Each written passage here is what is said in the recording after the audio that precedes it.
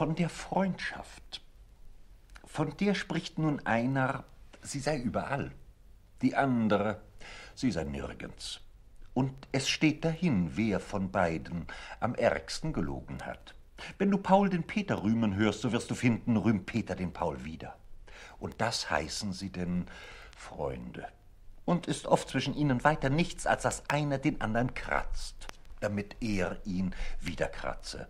Und sie sich so einander wechselweise zu Narren haben, denn wie du siehst, ist hier ein jeder von ihnen nur sein eigener Freund und nicht des andern. So ganz rein geht's ja freilich selten ab, und etwas Menschliches pflegt sich wohl mit einzumischen, aber das erste Gesetz der Freundschaft soll doch sein, dass einer des andern Freund sei.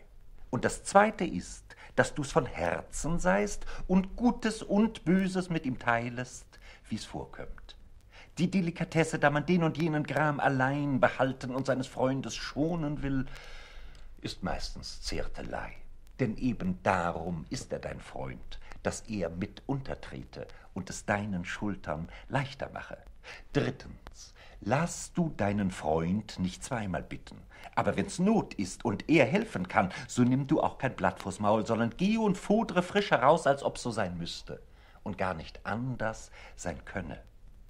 Hat dein Freund an sich das nicht taugt, so musst du ihm das nicht verhalten und es nicht entschuldigen gegen ihn, aber gegen den dritten Mann musst du es verhalten und entschuldigen. Mache nicht schnell jemand deinen Freund.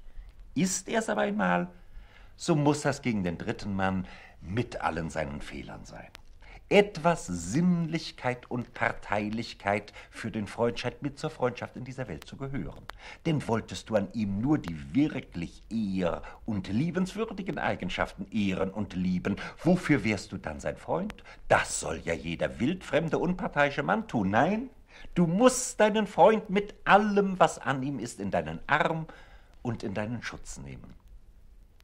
Eigentliche Freundschaft kann nicht sein ohne Einigung.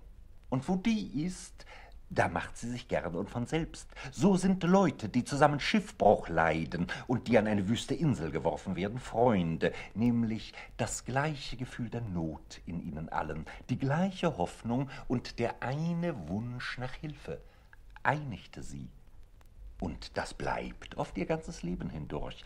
Einerlei Gefühl, einerlei Wunsch, einerlei Hoffnung, einig und je inniger und edler dieses Gefühl, dieser Wunsch und diese Hoffnung sind, desto inniger und edler ist auch die Freundschaft, die daraus wird. Aber denkst du, auf diese Weise sollten ja alle Menschen auf Erden die innigsten Freunde sein?